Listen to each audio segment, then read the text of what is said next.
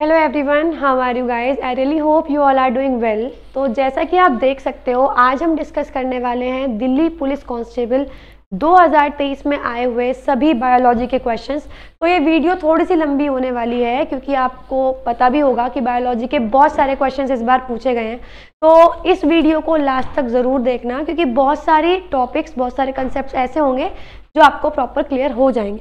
तो चलिए वीडियो को स्टार्ट करते हैं। सबसे पहला क्वेश्चन है which part of the food is defecated that means भोजन के किस भाग से शौच बनकर निकलता है तो फ़ूड का वो पार्ट जो अनयूज रह जाता है, जो डाइजेस्ट भी नहीं होता, जो कुछ नहीं होता, जो डाइजेस्ट नहीं हो पाता अनयूज फ़ूड उससे हम डिफेकेट करते हैं. दैट इज़ अप्रयुक्त भोजन.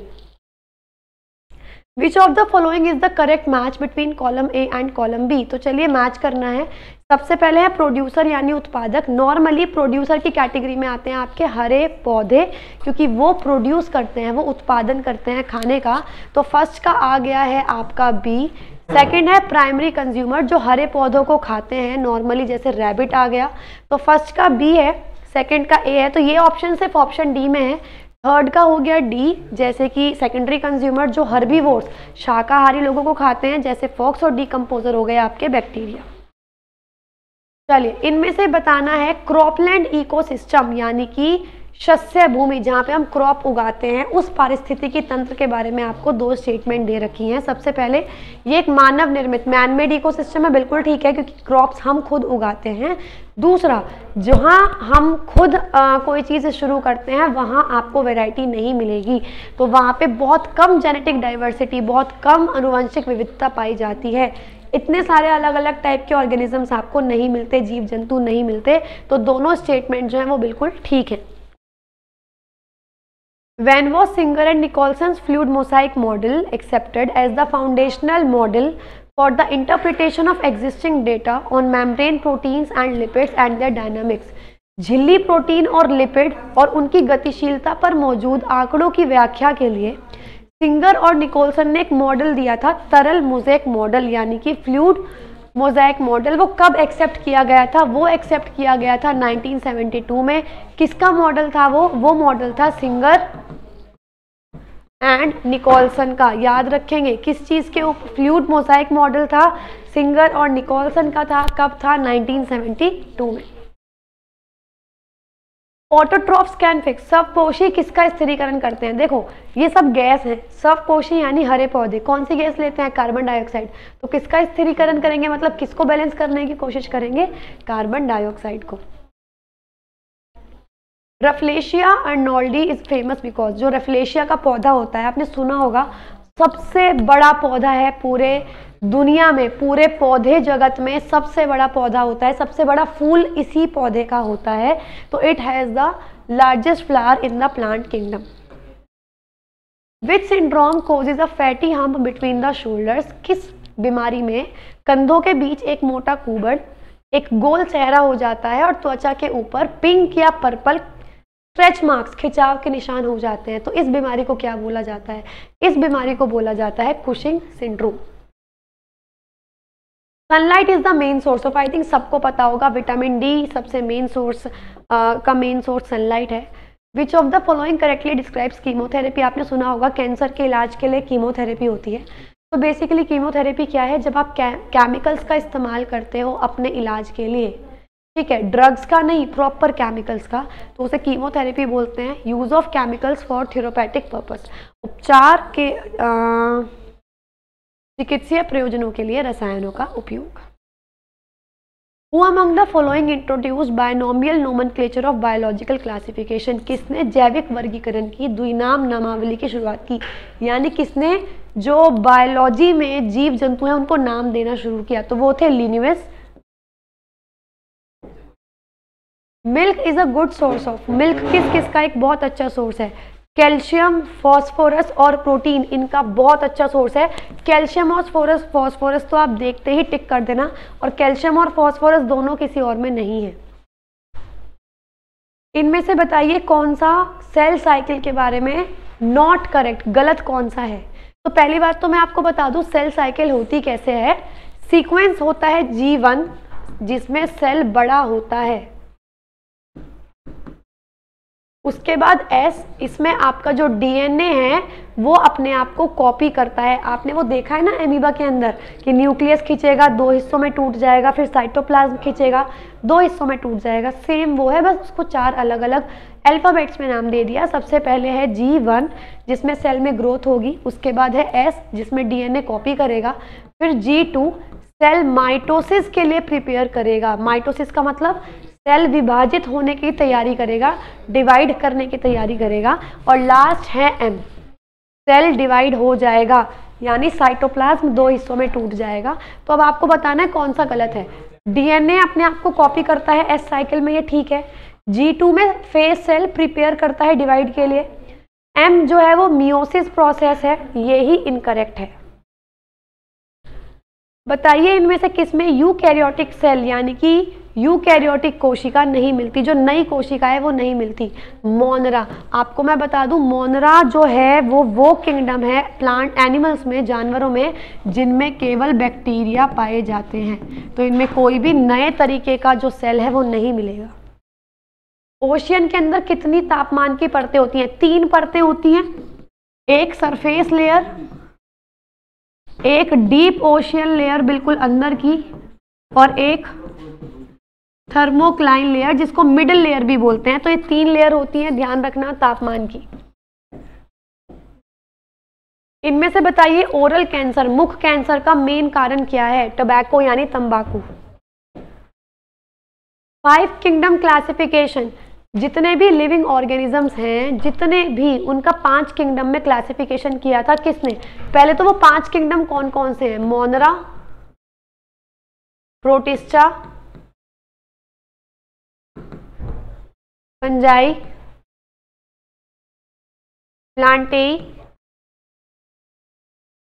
और एनिमेलिया ये पाँच किंगडम में सभी जीव जंतुओं को बांटा था किसने? विटेकर और ये बहुत फ़ेमस क्लासिफिकेशन हुआ था, मैं आपको ये भी बता दूँ, बहुत इंपॉर्टेंट है तो R H Whittaker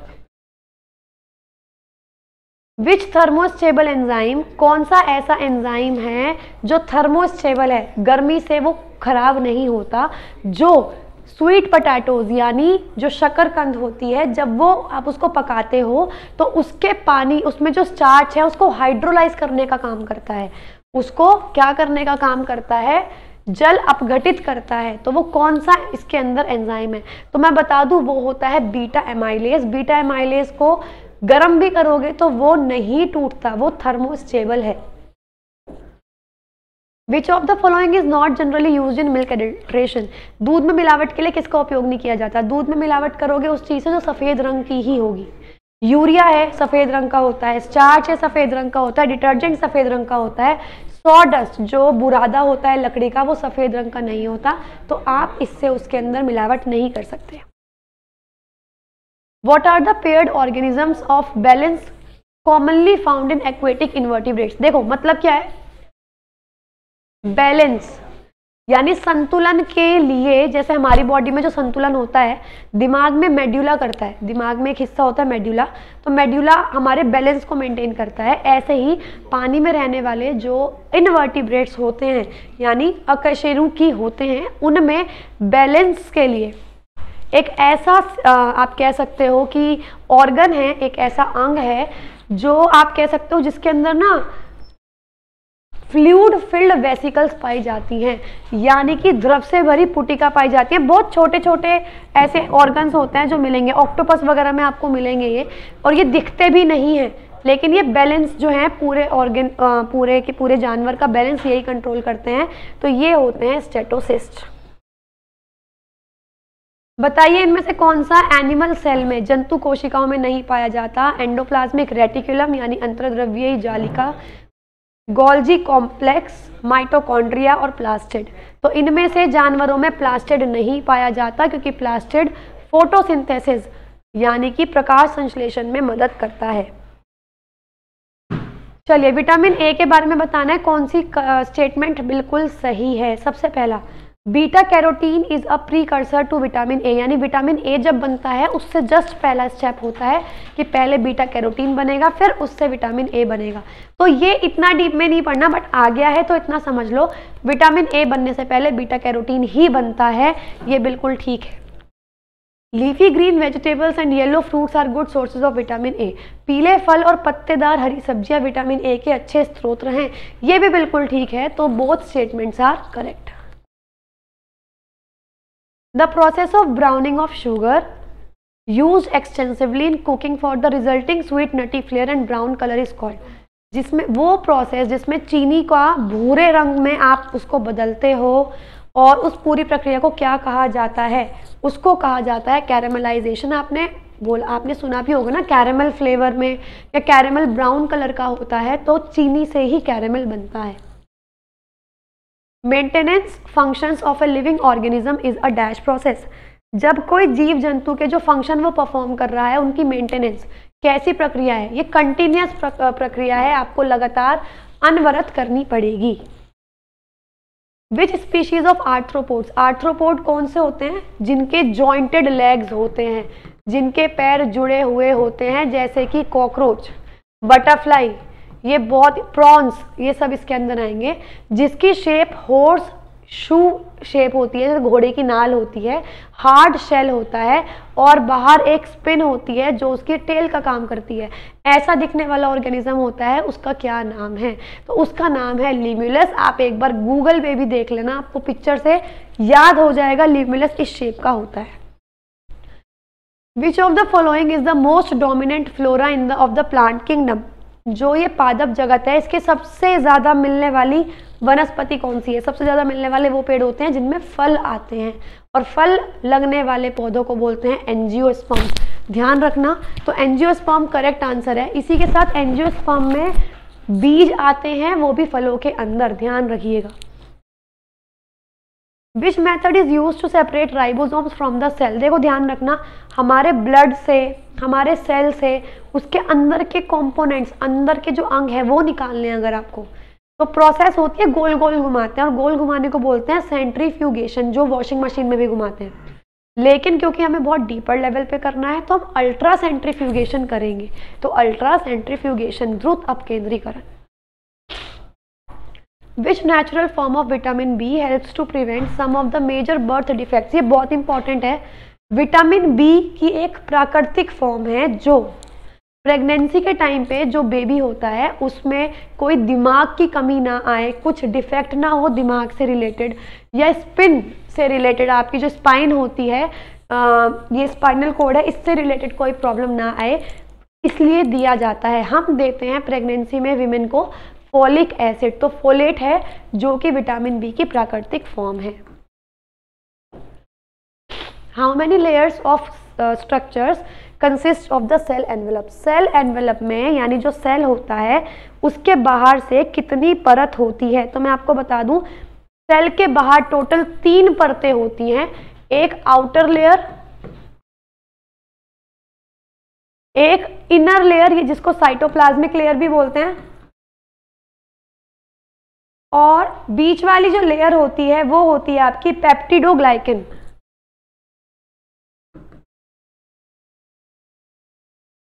तो तीन परतें होती हैं, नाम ऐसा इतने इंपॉर्टेंट नहीं है बट याद रखेंगे सेल के एनवेलप में टोटल तीन लेयर पाई जाती हैं।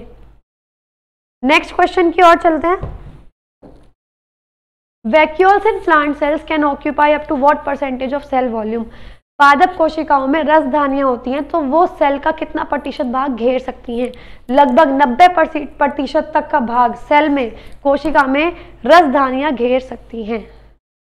इनमें से कौन सी स्टेटमेंट बिल्कुल गलत है? दंत स्वास्थ्य से संबंधित। सबसे पहला, जो मुँह के अंदर बैक्टीरिया होते हैं, वो जो भी शुगर, शर्करा या कुछ भी खाद्य कण जो खा, फ़ूड पार्टिकल्स आपके मुँह में हैं, उनको सड़ाते हैं और एसिड बनाते हैं। बिल्कुल ठीक? दूसरा, हमारे मुँह का पीएच अगर 5.5 से कम हो जाए तो दांत सड़ने शुरू हो जाएँगे, बिल्कुल ठीक है। टूथ इनेमल जो हमारा ये दांत का जो इनेमल होता है, ये कैल्शियम हाइपो फॉस्फेट का बना होता है कैल्शियम फॉस्फेट जिसको आप कह सकते हो calcium hydroxy apatite hardest substance है, ये भी बिल्कुल ठीक है। टूथपेस्ट एसिडिक होता है, गलत, ये मैं पढ़ा भी चुकी हूँ। टूथपेस्ट होता है बेसिक नेचर में। तभी तो जो एसिड बनता है, वो उसको न्यूट्रलाइज उसको उदासीनीकरण करता है। तो डी ऑप्शन बिल्कुल गलत है। इन फ़ूड प्रोसेसिंग खाद्य प्रसंस्करण में जब कौन सा ऐसा कॉन्स्टिट्यूएंट है जो मेज प्लांट से, मक्की के पौधे से हमको मिलता है और उसको हम पानी या जूस में या उसको उबाल के हम फिलिंग बनाते हैं अंदर डालने के लिए। मक्की के पौधे से क्या मिलेगा? या तो मक्की के दाने या मक्की का आटा? दानों से आप आटा निकालोगे। तो जिलेटिन कॉर्न स्टार्च एल्गिन और अकेशिया। तो कॉर्न स्टार्च यानी कि मक्की का आटा। Which of the following claims about abiotic is false इनमें से कौन सा अजैविक के बारे में दावा गलत है? अबायोटिक कंपोनेंट्स पर नेवर अलाइव ये कभी ज़िंदा नहीं होते। बिल्कुल ठीक है अबायोटिक का मतलब तो यही ना, जिनमें जीवन नहीं है। दे आर नॉन लिविंग ये भी ठीक है. दे आर लिविंग कॉम्पोनेंट्स ये ही बिल्कुल गलत स्टेटमेंट है. यानी ये जीवित घटक है, ये बिल्कुल गलत स्टेटमेंट है. Which of the following is a major inorganic source of food इनमें से कौन सा एक इनऑर्गेनिक सोर्स है खाने का? वेजिटेबल्स में कार्बन होता है. जिसमें कार्बन होगा, वो ऑर्गेनिक सोर्स है कार्बनिक पदार्थ है. ग्रेन अनाज, उनमें कार्बन होता है. मीट मीट समझो, मांसपेशियाँ राइट जो आपकी मीट है, हमारी बॉडी ले लो कार्बन से मिलकर बनी है। वाटर वाटर में कार्बन नहीं होता तो वाटर ही इनऑर्गेनिक सोर्स है। How many openings does the digestive system in platyhelminthes health प्लेटी हेलमेंट्स में क्या होते हैं? बिल्कुल फ्लैट वाले वॉर्म्स होते हैं, जो बिल्कुल फ्लैट वॉर्म्स होते हैं। बिल्कुल चपटे हुए जो कीड़े होते हैं, वो आते हैं। और इनकी बॉडी में केवल एक ही ओपनिंग होती है, जो डाइजेस्टिव खाना खाएँगे, वहीं से खाएँगे वेस्ट निकालेंगे, वहीं से निकालेंगे तो single which of the following is not an amphibian animal इनमें से कौन सा एक उभयचर प्राणी नहीं है?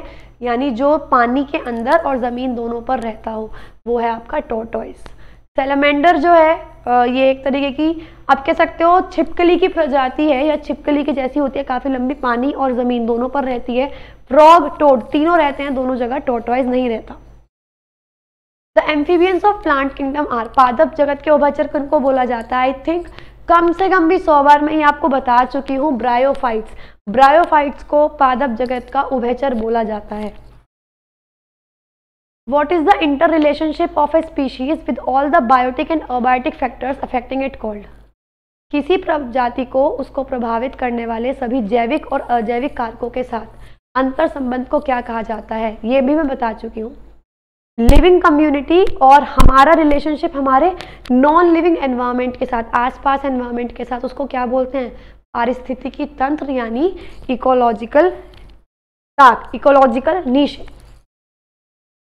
what technique is use in cell biology research for imaging cellular organelles and surface topology वो ये पूछ रहे हैं आपसे। इनमें से कौन सी तकनीक का उपयोग आप करोगे? जो सेल के अंदर अंगक होते हैं, कोशिकांग, जो सेल ऑर्गेनल्स होते हैं, उनको उनको देखने के लिए, उनकी रिफ्लेक्शन बनाने के लिए, उनकी इमेज बनाने के लिए। तो वो जो है, वो है क्रम वीक्षण इलेक्ट्रॉन सूक्ष्मदर्शी स्कैनिंग इलेक्ट्रॉन माइक्रोस्कोपी चलिए, अब आपको ये बताना है कि कौन सा फ़ूड मटेरियल का टेस्ट कौन सा होता है। सबसे पहले मैं बात करती हूँ उस चार्ज की। तो उस चार्ज का पता लगाने के लिए सबसे बेस्ट जो टेस्ट होता है वो करता है आयोडीन तो इस चार्ज का तो हो गया आपका आयोडीन ठीक है? फ़र्स्ट का हो गया आपका सी सेकंड की बात करते हैं फैट फैट का टेस्ट होता है एक्रोलिन टेस्ट तो फैट का पता लगाने के लिए एक्रोलिन टेस्ट किया जाता है। थर्ड है आपका आ, प्रोटीन प्रोटीन का जो टेस्ट होता है वो होता है ब्यूरेट टेस्ट प्रोटीन का टेस्ट होता है ब्यूरेट फैट का होता है एक्रोलिन और हेलोजनो एल्केन सॉल्ट होता है इसका टेस्ट किया जाता है सिल्वर नाइट्रेट से। तो आपका हो गया फ़र्स्ट का सी सेकंड का ए थर्ड का बी फोर्थ का डी फोर्थ का डी एक में ही है। Option A. नेक्स्ट क्वेश्चन की बात करते हैं विच ऑफ़ द चलिए, अब हमें बताना है इनमें से करेक्ट स्टेटमेंट कौन सी है। सबसे पहले, एक सिस्टम जिसके अंदर बायोटिक और अबायोटिक दोनों कंपोनेंट है, घट, जीवी और अजीवी दोनों घटक हैं, उसे पारिस्थितिकी तंत्र बोलते हैं, बिल्कुल ठीक है। जितने भी इकोसिस्टम के कंपोनेंट्स होते हैं इंटर रिलेटेड आपस में एक दूसरे से संबंध होता है, बिल्कुल ठीक है, जस्ट अभी यही बोला था मैंने। Ecosystem always have clear boundaries जो पारितंत्र होता है, उसकी सीमाएँ स्पष्ट होती हैं, जी नहीं। उसकी सीमाएँ स्पष्ट नहीं होती। अगर मैं बोल रही हूँ फॉरेस्ट है तो फॉरेस्ट वो कितना भी बड़ा हो सकता है और ऐसा नहीं होगा कि उसमें आपको सीमाएँ अलग बिल्कुल क्लियरली दिखेंगी तो only one and two are correct चलिए तो अभी हम लोग बिल्कुल हाफ़ पे पहुँच चुके हैं एटलीस्ट तो मैं आपको मैं बता दूँ कि चैनल को सब्सक्राइब करना मत भूलेगा। For the very first updates of SSC साथ ही टेलीग्राम चैनल ताकि आपको इन वीडियोस की पीडीएफ भी साथ साथ मिलती रहे। आपको यहाँ पे डिस्क्रिप्शन बॉक्स में हमने अपनी वेबसाइट का लिंक भी दे दिया है ताकि आप फ्री टेस्ट अटैम्प्ट कर सकें। साथ ही अगर आपको फाउंडेशन कोर्स चाहिए तो जनरल अवेयरनेस का कंप्लीट बैच अवेलेबल है आर बी एप्लीकेशन पे। इसी के साथ सारे सब्जेक्ट्स कवर करने हैं तो ऑफिसर बैच है, आप लोग देख सकते हैं यूट्यूब की प्लेलिस्ट भी एक बार चेकआउट कर लीजिएगा। चलिए नेक्स्ट क्वेश्चन की बात करते हैं। Which of the following statement is correct इनमें से कौन सी स्टेटमेंट करेक्ट है? All the ecosystems are constant in size जितने भी पारिस्थितिकी तंत्र होते हैं, वो आकार में स्थिर होते हैं। नहीं, उनका आकार बढ़ता, घटता रहता है। गलत। इन नेचर प्रकृति में केवल फ़ूड चेन एग्जिस्ट करती है, यानी कि खाद्य श्रृंखला क्या कहते हैं, मौजूद होती है, लेकिन खाद्य जाल नहीं, गलत। खाद्य श्रृंखलाओं से ही खाद्य जाल बनता है फ़ूड चेन से ही फ़ूड वेब बनता है। Pyramid of energy is always inverted energy का पिरामिड हमेशा उल्टा होता है, गलत। एनर्जी का पिरामिड सीधा होता है। एनर्जी फ्लो इज़ यूनिडायरेक्शनल ये बिल्कुल ठीक है। जो एनर्जी जाती है, वो वापस उस रास्ते नहीं आ सकती।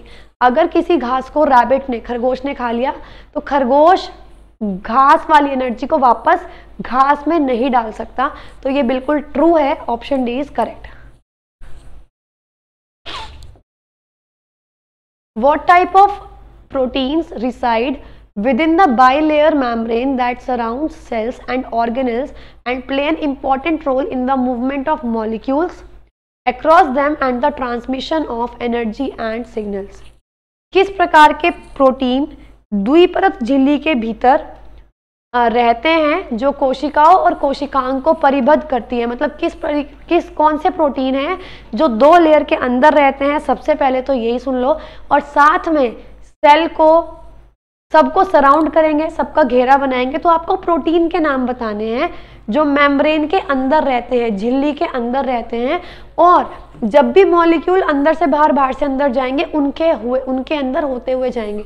तो आपके जो इसका करेक्ट आंसर है, वो है इंटीग्रल मेम्ब्रेन प्रोटीन्स, यानी परिधीय, नहीं परिधीय नहीं आएगा, अखंड झिल्ली प्रोटीन जो झिल्ली के अंदर होता है, ठीक है? तो ये हो गया आपका करेक्ट आंसर नेक्स्ट क्वेश्चन की बात करते हैं। बताइए इनमें से कौन सा ज़रूरी है हेमोग्लोबिन के निर्माण के लिए? तो आपको मैं बता दूँ हेमोग्लोबिन हमारे खून में क्या होता है? आयरन तो आयरन की बहुत ज़रूरी हो, ज़रूरत होती है हेमोग्लोबिन बनने के लिए। The study of cell structure is called कोशिका संरचना के अध्ययन को क्या कहा जाता है? कोशिका के अध्ययन को ही साइटोलॉजी कहा जाता है। तो ये ध्यान से समझ लीजिएगा, बहुत इजी क्वेश्चन था। इनमें से क्या चीज़ ट्रू नहीं है एंटीऑक्सीडेंट्स को लेके? देखो, मैं बताती हूँ, पहले एंटीऑक्सीडेंट्स होते क्या हैं? सबसे पहले जो हमारे सेल के फ़ंक्शन है, हमारा जो भी कोशिका कार्य करता है, अगर वो नहीं कर पा रहा, कुछ डैमेज हो रहा है तो एक तो एंटीऑक्सीडेंट हमारे लिए बहुत ज़रूरी होते हैं, उनको रोकता है। दूसरा, कहाँ से आता है? ज़्यादातर फ्रूट से प्लांट से हम लोगों को ये मिलते हैं। इसी के साथ एजिंग प्रोसेस कम करते हैं। मतलब हमारा, हमारी जो एज है, वो ज़्यादा नहीं शो करते, कम शो करते हैं। हमें यंग दिखाते हैं रिपेयरिंग में हेल्प करते हैं। तो चलिए पढ़ते हैं। It prevents damage of cellular functions यानी कोशिकीय कार्यों की मदद मदद करता है मरम्मत में। बिल्कुल ठीक है। Animal products are the chief source आपको गलत ही बताना था, यही गलत है। प्लांट प्रोडक्ट्स और फ्रूट्स ये मेन सोर्स होते हैं एंटीऑक्सीडेंट्स के। Who is the only living representative of the extremely ancient and diverse group पेनोप्स्टिडा commonly known as horsetails तो आपसे पूछना है, केवल इकलौता जो अभी जीवित है पेनोप्सिडा में, जो कि होर्सटेल के नाम से जाना जाता है, वो कौन सा जानवर है या वो कौन सा आपका एकमात्र जीवित प्रतिनिधि है? तो वो है आपका एक्सीटम एक्विसीटम जो है, वो एक मा, एकमात्र आपका रिप्रेजेंटेटिव बचा है होर्स टेल के अंदर। हमारे शरीर में सबसे ज़्यादा अबंडेंट मिनरल सबसे ज़्यादा पाया जाने वाला वो कौन सा मिनरल है? हमारे शरीर में सबसे ज़्यादा कैल्शियम पाया जाता है, क्योंकि हड्डियों में, दांत में वही मिलता है। To which genus does the nematode parasite called hookworm belong which usually spreads through infected soil इनमें किस जीनस के अंदर आपका हुक वॉर्म आएगा जो कि, जो सॉइल होती है ना इन्फेक्टेड संक्रमित मिट्टी, उससे फैलता है। तो ये फैलता है आपका एनसाइक्लोस्टोमा एनसाइक्लोस्टोमा है जो कि नीमाटोड की कैटेगरी के अंदर आता है। ठीक है नीमाटोड के अंदर आपके वॉर्म्स आते हैं, जो पेट वाले कीड़े होते हैं राउंड वॉर्म्स जो आते हैं, सब नीमाटोड के अंदर आते हैं।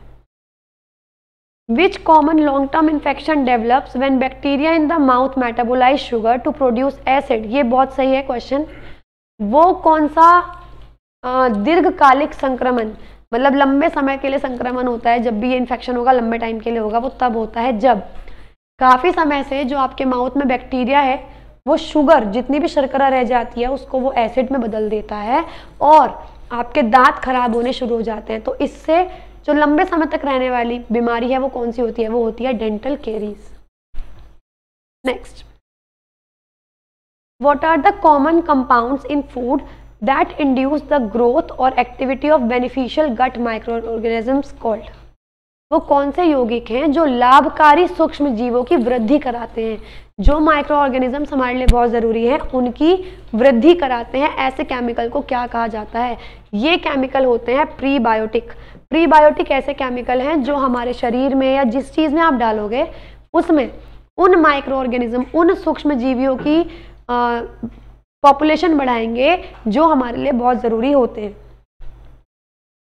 In plants which hormone helps the cell to grow longer इनमें से कौन सा हार्मोन है जो उनको लंबा करने में, उनकी ग्रोथ करने में मदद करता है, उनकी हाइट बढ़ाने में मदद करता है? तो वो होता है ऑक्सीजन ध्यान रखना। ऑक्सीजन हमेशा शेड में रहना प्रीफर करता है, छाव में रहना प्रीफर करता है, हमेशा ध्यान रखिएगा। In an ecosystem which of the following are autotrophs ecosystem में सब पोषी कौन होते हैं? अरे ऑटोट्रॉफ्स तो कौन होते हैं? ग्रीन प्लांट्स होते हैं ना simple green plants the condition when the environment becomes enriched with nutrients देखो and increasing the amount of plant and algae growth in estuaries and coastal waters is called ये बहुत इंपॉर्टेंट है और क्यों है सुनो? कई बार क्या होता है, जब इंडस्ट्रीज़ से वेस्ट आता है नाइट्रोजन फॉस्फोरस पोटेशियम ये एलिमेंट्स हमारे पानी में या हमारे वातावरण में बहुत बढ़ जाते हैं और ये वो एलिमेंट्स हैं जो पौधों को चाहिए होते हैं। तो बहुत ज़्यादा एक्सेसिव ग्रोथ हो जाती है पौधों की या एल्गे शैवाल की पानी में मतलब पानी दिखता ही नहीं है। प्रॉपर ऊपर से अगर आप देखोगे तो सिर्फ़ हरे पौधे दिखाई देंगे। क्यों हार्मफुल है? क्योंकि जो अंदर जीव जंतु रहते हैं पानी के, उन्हें ऑक्सीजन नहीं मिलेगी, वो मर जाएँगे। तो इस प्रोसेस को क्या बोलते हैं? इसको बोला जाता है यूट्रोफिकेशन यानी कि कुपोषण। ठीक है नेक्स्ट क्वेश्चन की बात करते हैं। Which of the following is not responsible for hypertension इनमें से कौन सा हाइपर टेंशन की आ, के लिए रेस्पॉन्सिबल नहीं है? सबसे पहला अगर आप निकोटिन ले रहे हो चाहे तो स्मोकिंग आप आ, क्या कहते हैं सिगरेट पी के तंबाकू के माध्यम से निकोटिन ले रहे हो उससे हाइपर टेंशन बढ़ती है। कंज्यूमिंग लेस सॉल्ट ये बिल्कुल ठीक है मैं आपको बता दूँ कि जब हाइपरटेंशन बीपी हाई हो जाए, नमक हमें कम ही लेना चाहिए। तो अगर आप नमक कम ले रहे हो तो उससे बीपी नहीं बढ़ेगा या उससे हाइपरटेंशन नहीं होगी। तो ये फैक्टर रेस्पॉन्सिबल नहीं है हाइपरटेंशन के लिए। Living under stress and worry अगर आप टेंशन ले रहे हो तो भी हाइपरटेंशन होती है। वेट ज़्यादा बढ़ गया एक्सरसाइज नहीं कर रहे हो तो भी हाइपरटेंशन होती है। इनमें से कौन सा सबसे कॉमन सेक्राइड है? सेक्राइड बताऊँ क्या होता है? सेक्राइड आप समझ सकते हो शुगर की ही डिफरेंट फॉर्म है। शर्करा, मिठास की अलग अलग फॉर्म है। सबसे ज़्यादा मिलने वाला सेक्राइड होता है सुक्रोज ध्यान रखना, सबसे ज़्यादा मीठा जो सेक्राइड है। तो वो बोल रहे हैं, जो पीच जूस प्यूरी में, यानी कि जो आड़ू का जो रस होता है, उसकी प्यूरी में पाया जाता है, जिसमें लगभग 55 से 80 परसेंट टोटल शुगर का जो कंटेंट है, वो वही उसी चीज़ से बना है। तो वो है आपका सुक्रोज इनमें से प्लास्टिड के बारे में कौन सा कथन गलत है? सबसे पहला ल्यूकोप्लास्ट ये स्टोर करने का काम करते हैं, जैसे स्टार्च ऑयल देखो, मैं आपको बताती हूँ प्लास्टिड्स होते हैं तीन रंग के। ल्यूको क्रोमो और क्लोरो क्लोरोप्लास्ट के अंदर होता है क्लोरोफिल जो फोटोसिंथेसिस में मदद करता है। ल्यूकोप्लास्ट का काम होता है खाने को अपने अंदर स्टोर करना। क्रोमोप्लास्ट का काम होता है पौधों को या फूल को अलग अलग रंग देना ताकि वो बहुत आकर्षित लगे।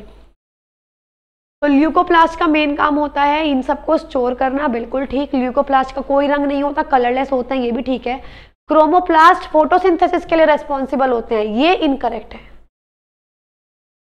ये यहाँ सही कर लेना, ये क्लोरोप्लास्ट ही आएगा यहाँ पे। अदरवाइज़ सी तो गलत है ही। Plastids do not have their own DNA and ribosomes plastids के पास, उनका लवक बोलते हैं हिंदी में, उनका खुद का डीएनए और खुद के प्रोटीन होते हैं। तो यहाँ पे ऑप्शन सी और डी दोनों गलत है। क्रोमोप्लास्ट का काम फोटोसिंथेसिस नहीं होता, वो क्लोरोप्लास्ट का होता है सी और डी दोनों गलत है। अगर यहाँ पर क्रोमो की जगह क्लोरो होता तो वो बिल्कुल ठीक था। नेक्स्ट क्वेश्चन इनमें से हाउस फ्लाई यानी जो घर में मक्खी पाई जाती है, उसका डोमेस्ट उसका जैविक नाम क्या है?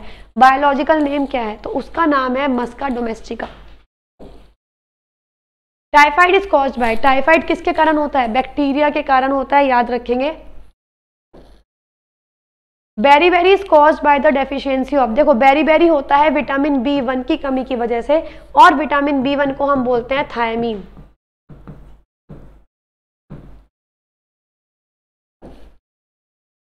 table sugar mostly contains what table sugar में चीनी जो होती है, जो हम यूज़ करते हैं, उसमें क्या होता है? मैंने अभी बताया सबसे ज़्यादा सुक्रोज मिलता है सुक्रोज होता है उसके अंदर। Gorgonia ventalina is the scientific name of which salt water invertebrate Gorgonia ventalina कौन से जीव का जो पानी में मिलता है, खारे पानी में मिलता है, उसका वैज्ञानिक नेम है। तो आपको ये बताना है, देखो एक तो जितने भी साइंटिफिक नेम है ना अगर आप उनका नाम थोड़ा स्टोरी से लर्न कर लोगे तो आपको कोई भी प्रॉब्लम नहीं होगी। तो ये नाम है कॉमन सी फ़ैन का। ठीक है? कैसे याद रखोगे? गोरगोनिया वेंटेलिना ये नाम है कॉमन सी फ़ैन का। The term protozoa the term protozoa was coined by जो प्रोटोजोआ शब्द है, उसकी रचना किसने की थी? वो की थी गोल्ड फस ने। सबसे पहले जो आपको बताया था कि इनको हम प्रोटोजोआ बोलेंगे, ये टर्म ये किसने बोला था? गोल्ड फस bacteria are the sole members of which of the following kingdom से मैंने आपको इसी वीडियो में बताया बैक्टीरिया किसके इकलौते मेंबर हैं? मोनरा और ये पाँच, जो स्टेप की क्लासिफिकेशन थी, किसने दी थी? विटेकर ने दी थी R H Whittaker who conceptualize the idea about animal ecology in 1927 इनमें से पशु पारिस्थिति के बारे में सबसे पहले 1927 में किसने विचार दिया था? वो थे आपके चार्ल्स एल्टन, जिन्होंने पशु पारिस्थिति की, एनिमल इकोलॉजी के बारे में सबसे पहले अपने थॉट्स रखे थे। Which of the following is the largest double membrane bound organelles इनमें से सबसे बड़े होते हैं डबल मैम्ब्रेन दो झिल्ली से बंद रहते हैं, जिसके अंदर सेल की सारी की सारी जेनेटिक इंफॉर्मेशन होती है, सारी की सारी जितनी भी अनुवंशिक जानकारी होती है, इसी के अंदर होती है। किसके अंदर होती है? न्यूक्लियस केंद्रक के अंदर, ध्यान रखेंगे। नाभिक भी बोलते हैं इसको। Which of the following are a pair of barrel shaped organs अच्छा बैरल शेप के ऑर्गन्स हैं ये। ठीक है? बैरल के आकार के अंगक हैं ये, जो कि एनिमल सेल के अंदर पाए जाते हैं, जंतु कोशिकाओं में पाए जाते हैं न्यूक्लियस के पास केंद्र केंद्रक के पास, जो कि जब सेल डिवाइड होता है, जब सेल का विखंडन हो रहा होता है, उस टाइम पे माइटोटिक स्पिंडल बनाते हैं बेसिकली शेप देते हैं। मैंने आपको सिर्फ़ एक ऑर्गेनल है, जिसके बारे में कुछ नहीं पढ़ाया था, और ये बोला था कि जब भी सेल रिप्रोड्यूस करेगा सेल डिवाइड करेगा, अपने आप को विभाजित करेगा, ये सिर्फ़ तब काम आते हैं। और मैंने आपको डायग्राम में भी कैसे बनाया था, इनका डायग्राम, मैंने प्रॉपर ऐसे भी नहीं बनाया था, मैंने बस ऐसे ऐसे लाइंस लाइंस ड्रॉ कर दी थी।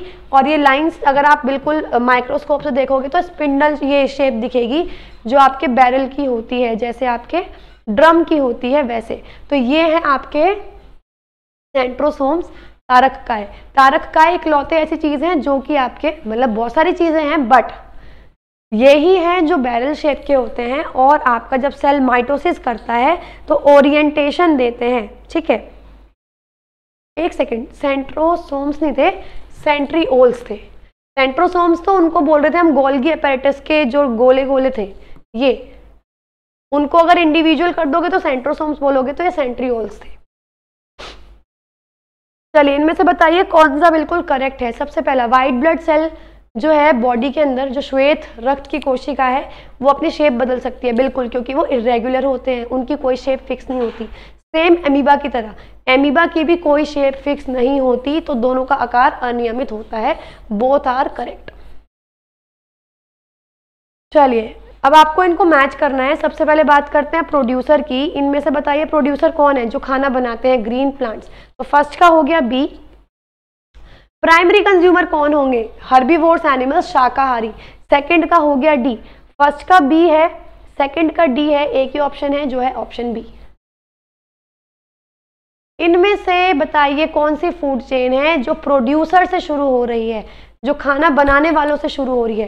प्लांट्स या ग्रास यही दो बचती हैं, क्योंकि ना तो इंसेक्ट आ सकता है, ना सॉइल आ सकता है। और टॉप कार्निवोर तक जाती है। टॉप कार्निवोर मतलब जो ऐसे जीव हैं, जो मांसाहारी को भी खा लेते हैं। चलिए देखते हैं। पहले पौधे आए, पौधों को इंसेक्ट ने खाया। इंसेक्ट को फ़िश ने खाया फ़िश को बर्ड ने खाया बर्ड को टाइगर ने खाया। ये बिल्कुल ठीक है। अगला है ग्रास ग्रास को खाया इंसेक्ट ने इंसेक्ट को खाया स्नेक ने। स्नेक इंसेक्ट्स नहीं खाता है स्नेक को इंसेक्ट मिलेंगे भी नहीं। स्नेक स्मॉल एनिमल्स को खाता है तो option A is the correct answer next question की बात करते हैं। चलिए, दोनों को आपको मैच करना है। ये एडल्ट्रेंट है, जिनकी मिलावट की जाती है किसमें मिलावट की जाएगी? टर्मरिक हल्दी। हल्दी में येलो चीज़ ही मिलाई जाएगी और येलो एनिलिन डाई तो फोर्थ का ए है। ये ऑप्शन और ये ऑप्शन बचता है। चलो डिटर्जेंट होता है वाइट कलर का। डिटर्जेंट की मिलावट की जाती है मिल्क में तो थर्ड का भी हो गया। इसके अलावा, चलो, हमें आर्ग्यूमेंट सीड का नहीं पता, कोई बात नहीं पपाया सीड जो पपीते का बीज होता है, काले रंग का होता है, और ब्लैक पीपर काली मिर्च भी काले रंग की होती है तो फ़र्स्ट का हो गया आपका डी तो फ़र्स्ट का डी ये हो गया। इसी के साथ, जो आर्ग्यूमेंट सीड्स हैं, इसकी होती है मस्टर्ड ऑयल में, सरसों के तेल में मिलावट। साइटोस्केलेटन का सेल के ढांचे का कौन सा हिस्सा होता है? जो रिजिड है, यानी बहुत दृढ़ है, लेकिन खोखली रोड्स की फॉर्म में होता है और सेल साइकिल में इंपॉर्टेंट रोल वो प्ले करेगी। जब सेल बनता है, बड़ा होता है डिवाइड होता है, आगे रिप्रोड्यूस करता है डिवाइड होता है तो उसमें तो वो कौन सी हैं? जो रॉड्स के फॉर्म में होती हैं। अगर एनिमल सेल है तो सेंट्रियोल पढ़ लिया बट ये नॉर्मल पूछ रहा हैं। ये है आपके माइक्रोट्यूब्यूल सेंट्रियोल्स भी माइक्रोट्यूब्यूल्स की कैटेगरी में ही आती हैं. The deficiency of iodine causes iodine की कमी से कौन सी बीमारी होती है? गोइटर इसके अलावा आयोडीन अगर है तो कौन सा हार्मोन बनता है? Thyroxine hormone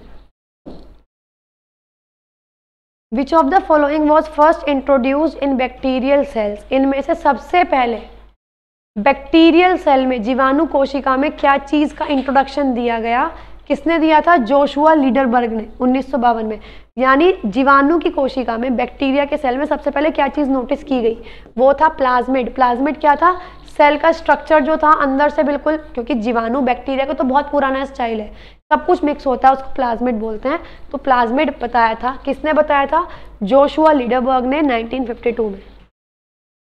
Which part of our body is responsible for digestion पाचन के लिए हमारी बॉडी में कौन सा अंग उत्तरदायी होता है? गैस्ट्रिक ग्लैंड पेट के जो ग्लैंड होते हैं वो अमाशय ग्रंथियाँ when cell is not dividing अगर एक कोशिका विभाजित नहीं हो रही है, लेकिन उसका न्यूक्लियस काफ़ी लंबा हो चुका है तो उसको हम क्या वो अच्छा its nucleus has highly extended and elaborate nucleoprotein fibres उस न्यूक्लियस के अंदर जो खिंच चुका है, काफ़ी लंबे लंबे फाइबर होते हैं, जिसमें सारी इंफॉर्मेशन होती है, तंतु होते हैं, उनको क्या बोलते हैं? उनको बोलते हैं क्रोमेटिन वैसे भी न्यूक्लियस के अंदर, केंद्रक के अंदर डीएनए और क्रोमेटिन मटेरियल ही होता है, ये मैं आपको पढ़ा भी चुकी हूँ। इनमें से सेल यानी कोशिका के बारे में कौन सी चीज़ बिल्कुल ठीक है? Cell is a functional unit of life ये बिल्कुल ठीक है? भाई, ये क्रियात्मक इकाई होती है हमारे शरीर की। सेल मेम्ब्रेन फ्लेक्सिबल होती है, बहुत ज़्यादा लचीली होती है। पावर हाउस पावर हाउस किसको बोलते हैं? माइटोकॉन्ड्रिया को। Bacterial cell contain cellulose. Bacterial cell के अंदर सेल वॉल नहीं होती। जब कोशिका जो दीवार है, वो ही नहीं है तो सेलोज किससे बनती है? सेल वॉल किससे बनती है? सेलुलोज से जब सेल वॉल ही नहीं है तो सेलुलोज का भी कोई काम नहीं होगा। Which of the following is known as the powerhouse of cell cell का पावर हाउस किसे कहा जाता है? अभी जस्ट बताया था सेल का पावर हाउस कहा जाता है माइटोकॉन्ड्रिया को। Which of the following statements about water resource is correct इनमें से पानी के संसाधन के बारे में कौन सी स्टेटमेंट बिल्कुल करेक्ट है? पानी नॉन रिन्यूएबल यानी गैर नवीकरणीय संसाधन है, बिल्कुल गलत। पानी नवीकरणीय है कंप्लीट साइकिल है, पानी का वाष्पीकरण होता है, वो वापस नीचे ज़मीन पर आता है तो ये बिल्कुल गलत है। Water is a cyclic resource ये सही है चक्रिक संसाधन है। बायोटिक रिसोर्स नहीं, इसमें कोई जीवन नहीं होता, ये अबायोटिक रिसोर्स है। अजैविक संसाधन है। पानी को दोनों कैटेगरी में रखते हैं, जैविक और अजैविक दोनों। नहीं, ये भी गलत है। चलिए, ये बताना है, ये चीज़ें किस तरीके से फैलती हैं? जैसे मिनजाइटिस मेनिनजाइटिस कैसे फैलता है? सबसे पहले तो मैं आपको ये बता दूँ मेनिनजाइटिस फैलता है आपका ड्रॉपलेट्स के माध्यम से। आपने छीका, आपके जो मुँह से ड्रॉप्स बाहर आई हैं, वो किसी और ने सांस के थ्रू अंदर ले ली। तो मेनिनजाइटिस फैलता है ड्रॉपलेट इन्फेक्शन से। ए का है फोर रेबीज आपने देखा है ना कि कोई रेबिड से इन्फेक्टेड कोई जानवर अगर काट ले तो रेबीज हो जाता है। तो ये कैसे होगा? अगर बॉडी में रेबीज का वायरस इंजेक्ट हो जाए किसी भी तरीके से, किसी जानवर के काटने से या किसी भी कारण से तो रेबीज होता है इनोक्यूलेशन इनटू स्किन। टाइफाइड होता है बैक्टीरिया से और साथ में खाना या पानी ऐसा पीने से जो कि गंदा हो और टेटनेस होता है कांटेक्ट विद द सॉइल तो वन का है फोर्थ, बी का है वन सी का है आपका सेकेंड तो option C is the correct answer next question की बात करते हैं. Irregular growth of teeth is due to the deficiency of vitamin अगर दांत टेढ़े मेढ़े हो रहे हैं तो उन, वो किस विटामिन की कमी की वजह से होता है? वो होता है विटामिन डी की कमी की वजह से. पेस्टिसाइड इंसेक्टिसाइड अगर पीड़क नाश नाशक हैं, कीटनाशक हैं, इनका सबसे ज़्यादा यूज़ अगर हम कर रहे हैं तो हमारे शरीर पे बहुत गंदा प्रभाव पड़ता है। क्यों? क्योंकि एक फिनोमिना होता है जिसको हम बोलते हैं बायोमैग्निफिकेशन इसके अंदर क्या होता है कि जो भी ये जो कीटनाशक या इंसेक्टिसाइड पेस्टिसाइड जो भी हमारे हमने क्रॉप में डाले हैं, अगर वो हमारे शरीर में जाएँगे तो हमारे शरीर में इनकी कंसंट्रेशन इनकी सांद्रता बढ़ जाएगी। तो इसको क्या बोलते हैं? इसको बोलते हैं बायो मैग्निफिकेशन जैव आवर्धन। हमारे शरीर में जाते ही इनकी सांद्रता अपने आप बढ़ जाती है। सॉइल बाइंडर्स को, मृदा को बांधने के लिए हम कौन से पौधों का इस्तेमाल करते हैं? ये होते हैं टेरिडोफाइट्स ठीक है? टेरिडोफाइट्स ऐसे होते हैं जो कि पौधे को, यानी मृदा को सॉरी बांधने का काम करते हैं। नेक्स्ट करते हैं। इनमें से सबसे पुराना जीवित पौधे की प्रजाति कौन सी है? जिन, जिसके हम जो लीव्स हैं, पत्तियों का इस्तेमाल करते हैं। खून में अगर कोई कमी है या यादाश्त में अगर कोई कमी है उसका इलाज करने के लिए। तो हम लोग यूज़ करते हैं गिंकगो। ठीक है जिंको इस, इस पौधे का नाम है इसकी जो लीव्स होती हैं फ़ैन शेप की होती हैं हम इन पत्तियों का इस्तेमाल करते हैं। अगर ब्लड में हमारे कोई डिसऑर्डर है या मेमोरी का कुछ प्रॉब्लम है तो इसकी लीव्स का इस्तेमाल किया जाता है। नेक्स्ट क्वेश्चन की बात करते हैं। Which of the following is absent in prokaryotic cells जो प्रोकैरियोटिक कोशिकाएँ होती हैं, यानी पुराने जो सेल्स होते हैं, इनमें, उनमें, इनमें से क्या चीज़ एबसेंट रहती है? जो पुराने सेल्स हैं, उसमें झिल्ली कहीं नहीं मिलेगी, किसी भी चीज़ के चारों तरफ़। मेम्ब्रेन्स नहीं मिलेंगी। तो न्यूक्लियर मेम्ब्रेन जो कोशिकीय झिल्ली होती है, ये बिल्कुल एबसेंट होती है। कौन सी फंगस हम फर्मेंटेशन यानी किनवन तकनीक में हम यूज़ करते हैं, इनमें से कौन सी फंगस? तो वो है आपकी सेक्रोमाइसिस सेक्रोमाइसिस जो है, हम यूज़ करते हैं आपकी फर्मेंटेशन टेक्नोलॉजी में। ध्यान से इसको पढ़ लीजिएगा। रेड एल्गी जो लाल शैवाल होती है, उनका कॉमन नेम क्या है? तो उसका नाम होता है रोडोफाइके माइटोकॉन्ड्रिया के बारे में कौन सी स्टेटमेंट बिल्कुल गलत है? सबसे पहला एटीपी को बनाने वाली जो रिएक्शंस हैं, वो सभी माइटोकॉन्ड्रिया के अंदर ही होती हैं। और कहाँ होती हैं?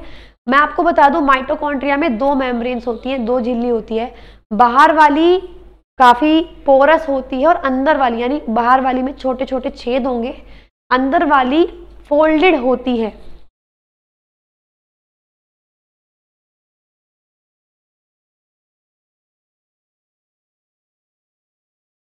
ये है माइटोकॉन्ड्रिया का स्ट्रक्चर तो बाहर वाली लेयर होती है पोरस जिसमें छोटे छोटे छेद होते हैं. अंदर वाली फोल्डेड है तो यहाँ पर होती है वो रिएक्शंस तो पहली स्टेटमेंट बिल्कुल ठीक है. दूसरा, हमारा शरीर वो जो एटीपी बनाने में जो एनर्जी हमने स्टोर की है, उसको यूज़ करती है. ये भी बिल्कुल ठीक है. माइटोकॉन्ड्रिया में दो झिल्लियाँ होती हैं, ये भी बिल्कुल सही है. माइटोकॉन्ड्रिया उनका खुद का प्रोटीन नहीं बना सकते, बिल्कुल गलत. डीएनए सॉरी न्यूक्लियस केंद्रक के अलावा माइटोकॉन्ड्रिया और प्लास्टिड ये दो चीज़ें ऐसी होती हैं जिनके पास इनका खुद का डीएनए और खुद का प्रोटीन होता है। तो ये स्टेटमेंट बिल्कुल गलत है। A wood boring shipworm is called एक ए, कौन सा ऐसा कीड़ा है जो लकड़ी में छेद कर देता है? आपके पास जो ऑप्शंस हैं वो है पटेला उमैक्स टेरिडो और चिटोन। तो इनमें से जो करेक्ट आंसर है वो है टेरिडो। टेरिडो एक ऐसा कीड़ा है जो लकड़ी में छेद कर सकता है। इनमें से कौन सा इंस्ट्रूमेंट है जो रक्तचाप यानी ब्लड प्रेशर को नापने के काम आता है? वो है स्फिग्मोमैनोमीटर ये बहुत इंपॉर्टेंट है, मैं कई बार बता भी चुकी हूँ स्फिग्मोमैनोमीटर ब्लड प्रेशर को नापने के काम आता है। Which of the following is not iron rich इसमें से किस चीज़ में ज़्यादा आयरन नहीं होता? पीज देखो पीज रेड मीट स्पिनच और लेमन लेमन के अंदर आयरन नहीं होता, नींबू सिट्रिक एसिड होता है, उसके अंदर mainly which of the following about phylum angiosperms are correct angiosperm के बारे में बताओ, कौन सी स्टेटमेंट ठीक है? ये नॉन वेस्कुलर पौधे होते हैं। नॉन वेस्कुलर मतलब जिनमें पानी और खाने को ट्रांसपोर्ट करने के लिए आपके पास ना जाइलम है, ना फ्लूम है। तो पहली चीज़ तो ये बिल्कुल गलत है। ये वेस्कुलर पौधे होते हैं तो ये बिल्कुल करेक्ट गलत हो गया। The seeds of angiosperms are naked जो एंजियोस्पर्म्स के बीज हैं, वो नेक्ड हैं, यानी उनमें कोई परत नहीं होती। These make up the majority of all plants on the earth ये बिल्कुल ठीक है। अर्थ पे सबसे ज़्यादा मेजोरिटी में यही पौधे मिलते हैं। The seeds develop inside the plant organs and form fruits जो बीज हैं, पौधों, वो फ्रूट के अंदर, फलों के अंदर मिलेंगे। ये बिल्कुल ठीक है। तो C and D are correct next which of the following is an example of pteridophytes इनमें से कौन सा टाइडोफाइट का एक एग्ज़ाम्पल है? तो टाइडोफाइट का जो एग्ज़ाम्पल है, वो है आपका सेल्वीनिया टाइडोफाइट जो वो होते हैं आपके पौधे, उनका एक एग्ज़ाम्पल है सेल्वीनिया किस ट्रॉफिक लेवल में मैक्सिमम एनर्जी देखो, जिस, जो ट्रॉफिक लेवल जो पोषी स्तर जितना नीचे, उसमें उतनी ही ज़्यादा मात्रा में ऊर्जा होती है। तो सबसे कम ट्रॉफिक लेवल वन है यहाँ पे तो वन में सबसे ज़्यादा एनर्जी होगी। Name a genus of widely distributed floating aquatic plant. इनमें से एक ऐसे प्रजाति का नाम बताओ जो तैरने वाला पौधा है, जो अब तक सबसे छोटा एक बीज पत्री पादप है, यानी सबसे छोटा पौधा है, और मोनोकोट मतलब जिसमें बीज में दो आवरण होते हैं, एक इधर और एक इधर। तो एक ही आवरण में खाना पाया जाता है, लेकिन सबसे ज़्यादा प्रोटीन मिलता है, वो है आपका वोल्फिया, और वोल्फिया तो नाम ही, नाम से जाना जाता है aquatic plant floating aquatic plant चलिए, इनमें से वो कौन सा फिनोमिना है जिसमें एक ऑर्गेनिज्म एक जीव बायोकेमिकल बनाता है जो कि दूसरे जीव की ग्रोथ उसका विकास उसमें कैसे उसका डेवलपमेंट होगा, उसका सर्वाइवल कैसे होगा, वो प्रजनन कैसे करेगा, वो केमिकल दूसरे जीव का ये सब कुछ डिसाइड करता है। तो ये होता है आपका एलिलोपैथी एलिलोपैथी में एक जीव द्वारा बनाया गया केमिकल दूसरे जीव द्वारा करने वाली सारे काम को कंट्रोल करता है। What are known as enzymes enzymes कौन से होते हैं? जो बायोलॉजिकल कैटलिस्ट हैं, जो जैविक उत्प्रेरक हैं, उन्हीं को आप क्या कहते हैं? एंजाइम्स बोलते हैं। Cell nucleus was discovered by, cell का जो न्यूक्लियस है, जो केंद्रक है, वो किसने डिस्कवर किया था? वो किया था आपका रॉबर्ट ब्राउन ने सॉरी रॉबर्ट ब्राउन ने। रॉबर्ट हुक ने सेल की डिस्कवरी की थी 1665 में और रॉबर्ट ब्राउन ने न्यूक्लियस की डिस्कवरी की। फाइटोप्लैंक्टन्स आर फाइटोप्लैंक्टन्स क्या होते हैं? देखो, सुनो। जैसे हम खाद्य श्रृंखला पढ़ रहे हैं तो सबसे पहले पौधे आते हैं राइट जब पानी वाली खाद्य श्रृंखलाएँ पढ़ते हैं एक्वेटिक फ़ूड चेन पढ़ते हैं तो सबसे पहले आते हैं जो माइक्रोस्कोपिक प्लांट्स छोटे छोटे पौधे जो हमें दिखते भी नहीं है, जिनको जो पानी में तैरते रहते हैं, जैसे एलगई शैवाल, ये इनको बोलते हैं फाइटोप्लैंक्टन्स जो क्या होते हैं प्रोड्यूसर होते हैं प्रोड्यूसर्स खाना बनाते हैं। In an pond ecosystem the first trophic level includes pani. Pond आ गया मतलब झील है, पानी है। सबसे पहला लेवल किसका होगा? फाइटोप्लैंक्टन अभी आपने पढ़ा। तो फाइटोप्लैंक्टन यानी पादप, प्लवक। Conservation of biological diversity and sustainable use of its components जो आपका जैविक विविधता है, इसको बचा के रखना और साथ में इसके कंपोनेंट्स इसके जो घटक हैं, इनका यूज़ करना ताकि वो आगे तक चले। ये एक ट्रीटी के अंदर डिसाइड हुआ है, उस ट्रीटी का नाम क्या है? उस ट्रीटी का नाम है नागोया प्रोटोकॉल याद रख लेना बायोलॉजिकल डाइवर्सिटी जैविक विविधता से रिलेटेड प्रोटोकॉल है Nagoya protocol for how many vaccine sorry for how many vaccine preventable diseases are immunization provided under universal immunization programme सार्वभौमिक टीकाकरण कार्यक्रम में आपको कितनी बीमारियों के अगेंस्ट वैक्सीन प्रोवाइड कराई जाती हैं बारह। बारह बीमारियों के अगेंस्ट वैक्सीन प्रोवाइड कराई जाती है। What is the trend of biological wealth of our planet हमारे ग्रह की जैविक संपदा की प्रवृत्ति क्या है? अभी जैसे जैसे टाइम हो रहा है, आगे बढ़ता जा रहा है, प्रदूषण की वजह से, हमारी एक्टिविटीज़ की वजह से डिफॉरेस्टेशन की वजह से, जो जैविक विविधता है, जो बायोलॉजिकल डाइवर्सिटी है, वो घटती जा रही है।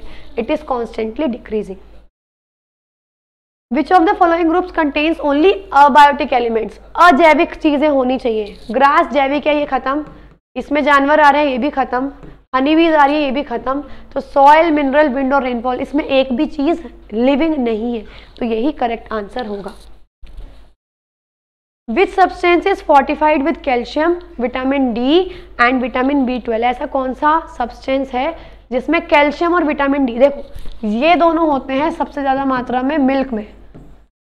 Vitamin B twelve vitamin B twelve भी होगा। तो अब आप देखो egg soya milk dark green leafy vegetables and cow's milk soya milk में सबसे ज़्यादा काउ मिल्क में भी होते हैं, लेकिन उनसे ज़्यादा अमाउंट होता है सोया मिल्क में। रोडोफाइके फैमिली जो ब्राउन एलगेई होती है, भूरी शैवाल होती है, उसकी कौन सी जीनस आप कह सकते हो, ऐसी है जिसमें जो ब्रांचेस हैं या जो पीछे वाला सेक्शन है, वो यूनिसेलुलर राइजोइड्स के कारण खड़ा हुआ होता है। एक कोशिकीय मूलाभासों के माध्यम से बिल्कुल खड़ा हुआ होता है। तो ये हो गया आपका पोलिसिफोनिया पोलिसिफोनिया वो शैवाल होती है, भूरे रंग की शैवाल के अंदर आती है, जिसमें जो उसका पिछला भाग होता है, जो ब्रांचेज होती हैं, सीधी खड़ी रहती है, पर किसके माध्यम से? राइजोइड्स के माध्यम से। तो वो है आपका पॉलीसिफोनिया तो गाइज़ ये थे सभी बायोलॉजी के क्वेश्चंस आई नो थोड़ा सा ज़्यादा वीडियो मतलब बहुत सारे क्वेश्चंस हैं और कुछ क्वेश्चंस ऐसे भी थे जो इतने डीप में आपके नहीं आएँगे बट वही है कि बैलेंस कहीं ना कहीं करने होते हैं क्वेश्चंस तो आप देख रहे हो, जैसे इसकी केमिस्ट्री बहुत ईजी आई थी बट बायोलॉजी में एक आधा क्वेश्चन आ रखा है जिसमें आपको सोचना पड़ेगा। बट वो क्वेश्चन में भी ऐसे हैं कि आप ऑप्शन एलिमिनेट कर सकते हो बहुत आराम से। इसी के साथ मैं आपको ऑलरेडी सब कुछ एक्सप्लेन कर चुकी हूँ। कंप्लीट अवेयर आप जनरल अवेयरनेस का बैच आप एनरोल कर सकते हो एप्लीकेशन को डाउनलोड करके, साथ ही ऑफिसर बैच अगर आपको सभी सब्जेक्ट्स को कवर करना है। आप देख सकते हो इतने सारे बैचेस अवेलेबल हैं। साथ ही जो YouTube पे प्लेलिस्ट बनाए हैं, उनको भी टाइमली चेक करते रहिए ताकि आपकी कोई वीडियो मिस आउट ना हो। आज के लिए इतना ही। मिलेंगे अगली वीडियो में अगली क्लास के साथ। तब तक के लिए have a good day and goodbye